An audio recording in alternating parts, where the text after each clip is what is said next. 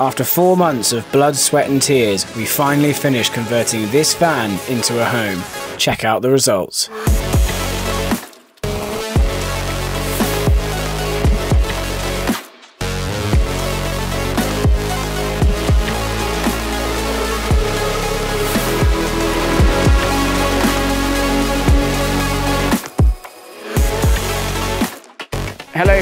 Welcome to a very sunny South Australia. Today we're doing the full van tour. It's super stealthy. Um, also, it's fully off grid. It's really spacious and critically for us as well, it's got two desks. So me and Amy can work on the road full time. Um, so for our needs, I think it's one of the best builds. So this is a 2016 Volkswagen Crafter. We bought it for $21,000 and it had about 200,000 kilometers on the clock. And as you can see, it's massive.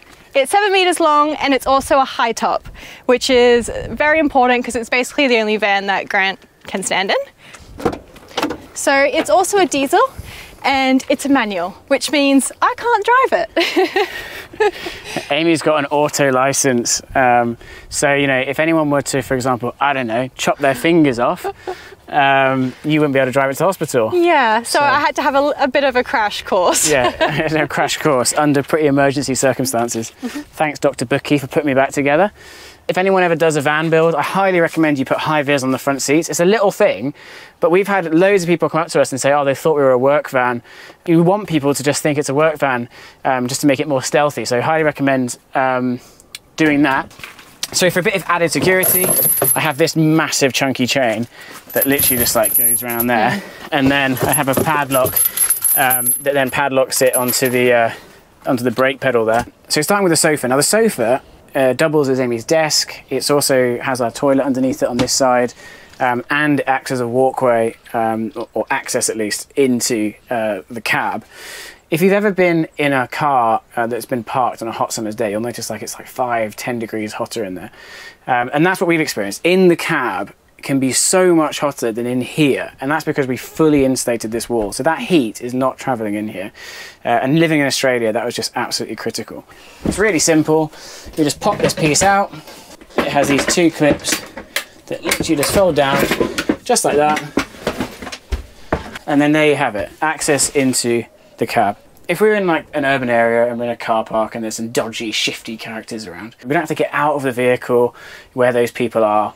We can just drive away. So it's a safety feature. This is also useful because if you imagine parking up in a city in a street, as soon as you open the side door and shut the lights on, everyone's like, whoa, there's someone living in there. Whereas if you just go into the front, no one takes any notice of you and no one notices that you just disappeared into the back because no one stood there watching the vans right? So it's really good for like sneaking into the van. Um, but yeah going back to what i said you can see here that it's uh, five centimeter thick insulation.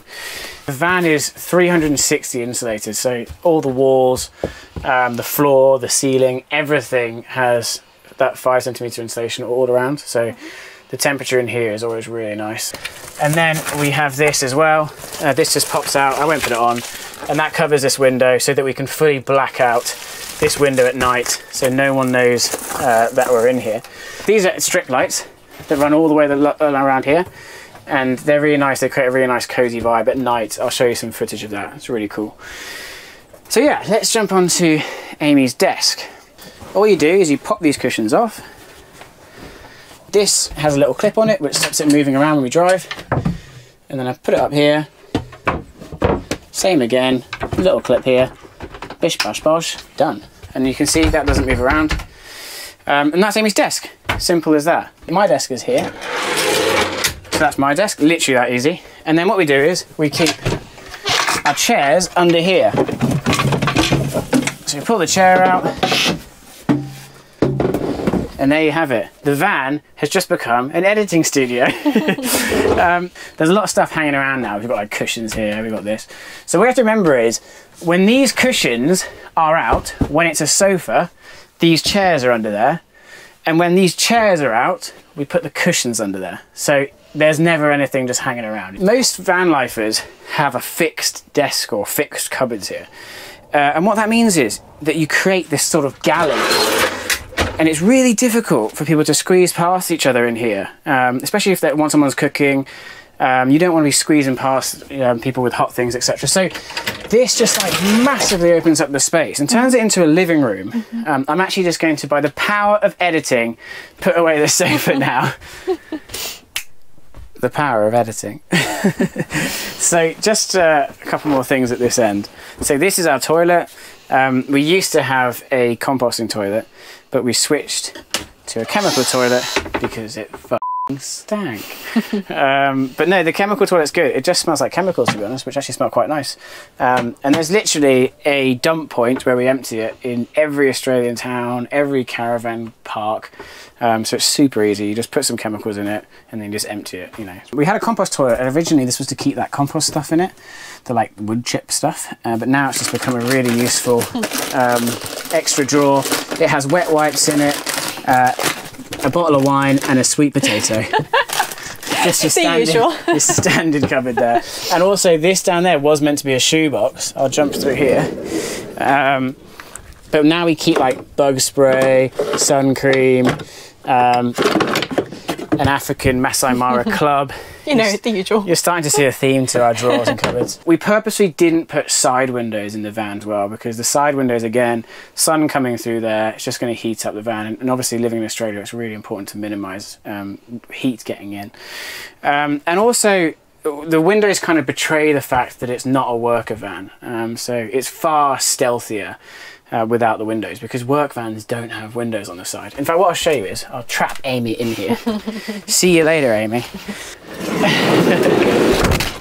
Uh, by the way, there's a lot of dents in the side of it. When we, I didn't notice that when we first bought it, but I actually like it because it just again just makes it look more like a worker van. But yeah, I mean, you would never know that people are living in there. Like it just looks like a van.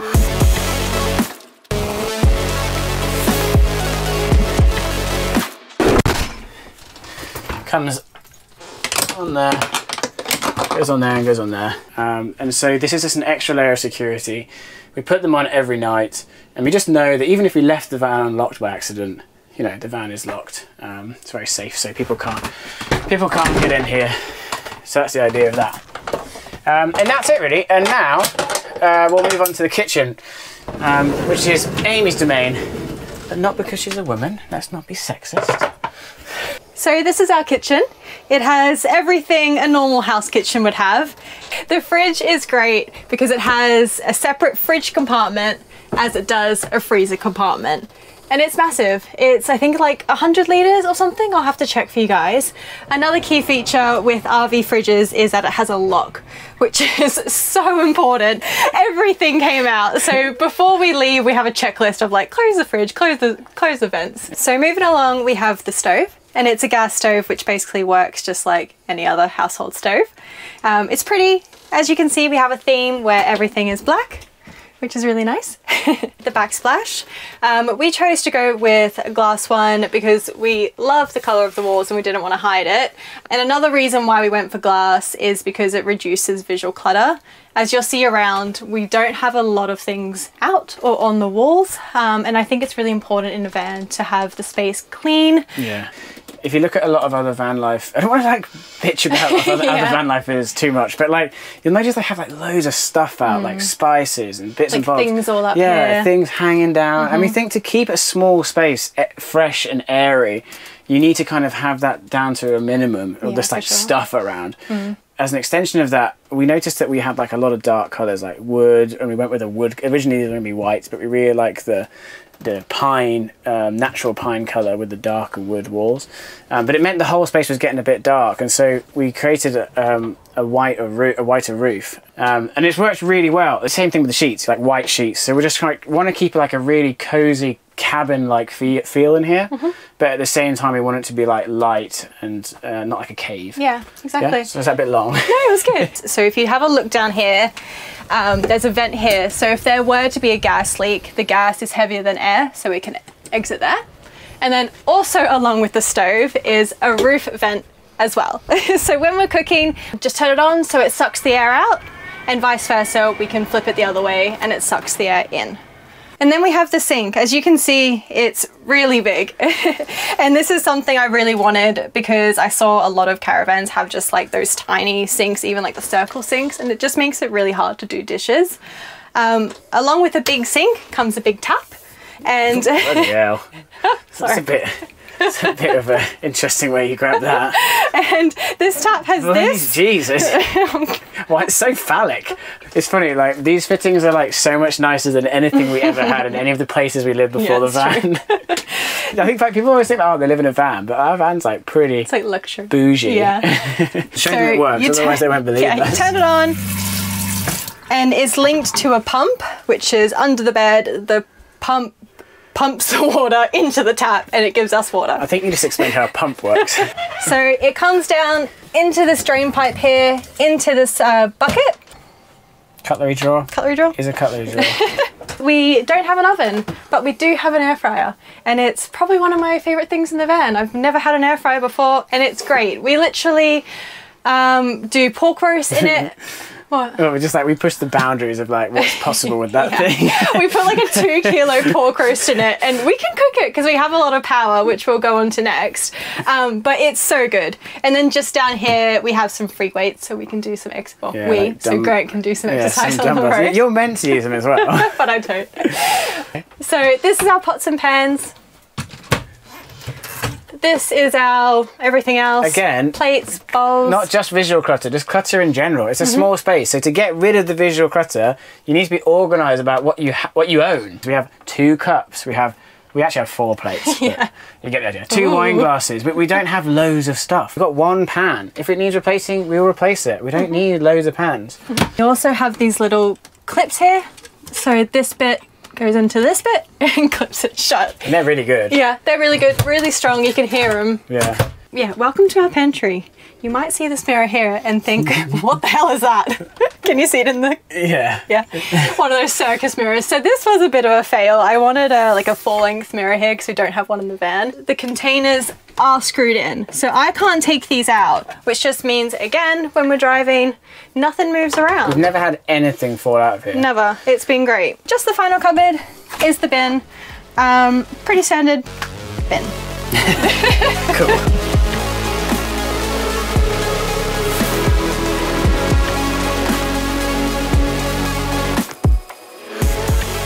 So our batteries are over at that end, but this was basically just like dead space. Um, and so we wanted to optimize it. So this, in fact, Amy, if I open this, you'll be able to see, show them it's sliding from out there. So as I open this, it slides from under there, and this comes out. It's got, it's a bit annoying actually because there's a hole here. Because I've got a few of my shirts and pairs of jeans and there's stuff in there. Um, and this, by the way, is just like our router, some spare shoes, etc. I've not seen anyone do this before, and the idea um, was to have somewhere that you know you can literally chuck keys. No one has that. It has these walls, so they don't slide around. A lot of the time, we just leave our laptops in there, and they actually fit really nicely between these pillars, so they don't slide around. Um, just like so useful just to have somewhere to put stuff. In here is my cupboard. it's tiny. I, I don't own much. The monitor station. So you can see we've got 91%. Normally we have 100, but last night we did a roast chicken. So that's why it's still charging. This is on a hinge, so if I actually spin around, Amy's sat on the sofa. She can watch the the TV on the sofa. Um, and I love it as well because the fridge is here. So you can literally just open the fridge, grab a beer. Oh, there's a beer in there. How convenient. and then you can just sit here and watch TV. It's so good. And then you can also swivel the TV around and we can watch from bed. Yeah, so I'll show you them. So yeah, you just turn this around. Boom. Look at that. You can watch TV in bed. Oh, good. And then here is my little pants and socks drawer. I basically just stuff it all in, and I like this because it maximizes the space. So if it was here and I opened it, they'd all fall out, but just having like a stuffy hole really works well. And then this was meant to be another drawer of my clothes, but now it's got A pumpkin in it. whatever this is, And, And- sweet potatoes. and more sweet potatoes. You'll notice a theme. So this is the bedroom, and a lot of thought went into creating this bedroom. Um, one of the things was the height between me and the roof. You've probably seen some conversions where it's like a sofa in the day and a bed at night. We really didn't want to do that. Who wants to like muck around with all these cushions and make your bed literally every night? So a main thing for us was to have just like a fixed bed and it's actually just a normal size double mattress. Yeah, it's perfect. He's like top to tail, I'm like five. touches I'm, here. I'm five ten. touches a very here. a very normal five ten. it does actually touch my head and my feet. Yeah. But yeah, it's good. I'm never on Amy's side either. No, never. two lights on either side, and these spin every way. Every single light in the van, uh, including these up here, is all dimmable, Mm-hmm. um, and they have these nice little switches as well, so we can find them. Yeah. Another great thing is my snack shelf and a cup holder. So You my- sound like such a fatty right I now. know. I don't leave bed and I love snacks. we have some more security um, here and down here, which we just put these carabiners on at night. And again, no one can get through the doors. So this is our skylight. um, I, I can see the sky. I just don't know why. I, I built this and she was so excited about it. You can see the stars. I see the stuff. and my favorite thing is when it rains, it's like we're underwater. And then I also have my cupboard here. So you saw Grant's cupboard earlier, which is the size of an A4 piece of paper. But I have everything in these cupboards and I have like dividers here as well. So well organised. The other thing is the mirror. Yeah, yeah, the mirror.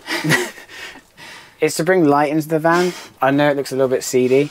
When I was showing Amy's grandmother the van, I thought she's going to think I'm a pervert, but I swear it is it is innocent. and the view, the view, The view. Show me the view. The view. The whole point is you can sit in bed, and then she's got that out the window. I mean, come on, guys. Grant showed you the LEDs along the cab wall and the kitchen. We also have them running along here, up there, and along the back wall here. So again, when I'm sat in bed, I'm surrounded, bathing, you could say, in some light.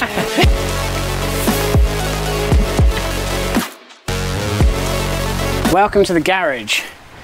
So, in here is the beating heart of our van. It's got two 200 amp hour batteries, and the idea is that we never need to plug in. And I think there's only been like one occasion where we've plugged in because we had like two weeks of like overcast. Um, but other than that, we've never plugged into the main shore power. If we did want to make, plug into the main shore power, there is this little thing here that just plugs in, so we can charge off like a house. So this is Starlink.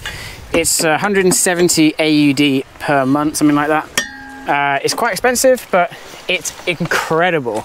Like we get like 180 megabytes per second download speed, which is faster than we've ever had in a home, like a house. For us on the road, editing and also doing our jobs from the van as well, that is just like life. We have 100 litre water tank. Normally lasts us a week. It's not too hard. We have a shower. Honestly though, we just pour the jerry can over each other a lot of the time because it's just an effort to set this all up. That just hooks in there, bish bash bosh, shower outside. It's fun at the moment in the summer, but winter's going to be interesting. yeah, because it's only cold water. So this is how we get up here.